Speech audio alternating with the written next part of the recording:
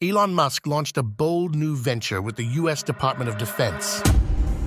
Imagine a sky filled with hundreds of satellites, not just any satellites, but a network designed for espionage, commissioned by US intelligence. SpaceX secure a whopping $1.8 billion contract with the Department of Defense.